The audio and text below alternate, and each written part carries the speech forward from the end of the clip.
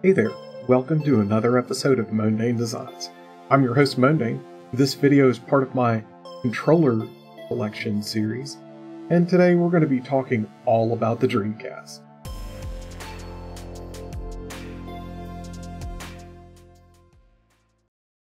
Welcome back, guys. I'm so excited to have you guys back here, and I I just I have to say, when I was collecting for the Dreamcast, tons of controllers that came out. Now I didn't get all of them. I didn't get a lot of the Mad Cat series. I didn't get a lot of various other types and stuff. But I got a lot of Dreamcast. And I'm so happy to be able to share these with you and just let you take a good close look at them and uh, understand exactly how these things work and you know what to expect from them and stuff like that. Anything from the maracas to the light guns, the arcade stick, the mouse and keyboard, the twin stick adapter, uh, the light guns. You know, you you name it. You know, I'm probably had it. The one one that I'm missing is the fishing control. And it's because back then I was not into interested in any kind of fishing game in any way, shape, or form. But I do have a lot of Dreamcast controllers. And in most cases, I have four of them. Uh, again, glad to have you guys here, and here are the controllers. All right, next up we have the Dreamcast controller. Um, it has you know, your basic membrane stuff. Uh, the analog stick is actually very interesting if you take one of these apart. It does not work mechanically. It, it has, uh, and when I say that, it doesn't contact anything. None of this connects to a circuit board. It actually just kind of plugs into the circuit board, but there is no electronic connection. It's all this weird magnet, and uh, there are sensors that detect how far the magnet is away. And then there's the two analog controllers, and then there's this that the the you know, a fairly decent uh, controller cable length. Um, but I still bought extenders just because that's the way I was back then, is I always bought extenders. And the cable actually can plug into here and have it come through the front to try to get it out of your way. And there's the VMU slot right there, and then you know one for either another VMU and or Rumble pack as well. Uh, these were actually really good controllers. They fit really well in my hand. Now they feel a little bit small now that I'm older, but um, you know, I, I got this thing when I was in college, and I actually have four of them in very good condition. Uh, I loved the Dreamcast. I was a big supporter, and I'm kind of sad that it's gone. All right, now we have the Dreamcast arcade stick. This is actually not made by Sega. It's made by a different company. It's uh, made by, if you can see that, uh, Agetec, and um, it's actually licensed by Sega, but it has a VMU slot, a fairly long cord with a basic Dreamcast controller uh, hookup. Uh, very clicky. Um, you know, and then these are not so clicky, but they feel really good. And the window for the VMU and the start. So this is a really good. It's very heavy. It's got some really good feet on it. Um, I have four of these. I love them.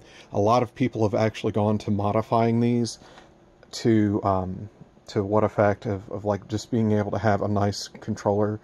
Honestly, I think you should just stop modifying these and, and build them on your own.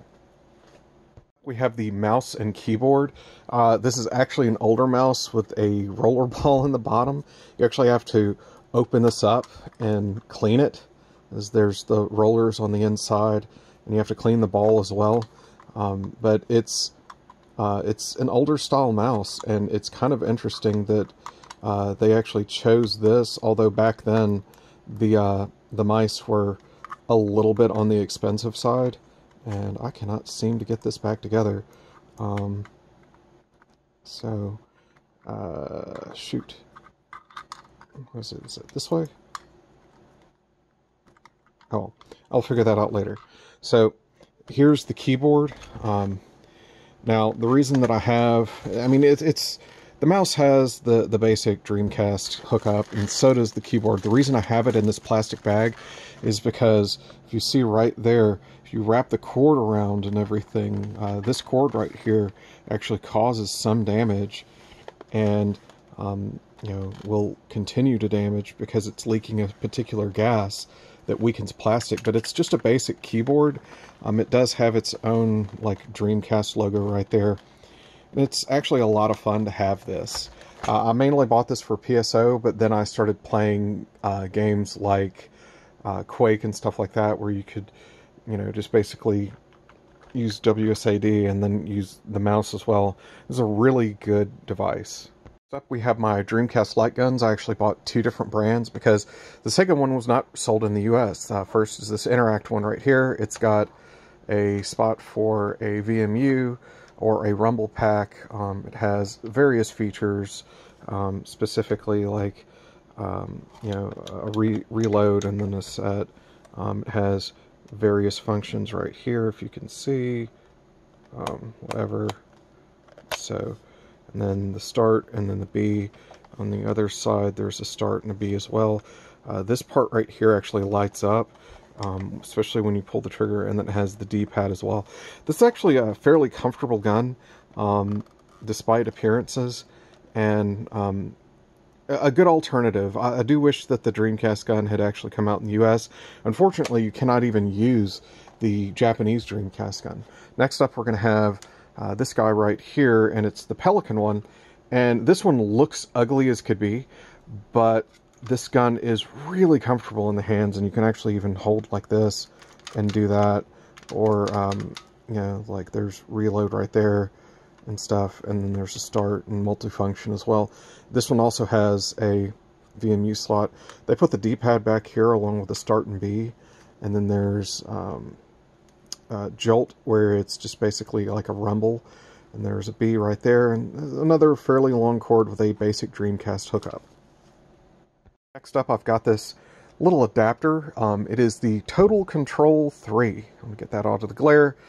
And, you know, it, it takes Sega Saturn games and a VMU and, you know, output, outputs them to the Dreamcast. And you can actually use a controller or a twin stick.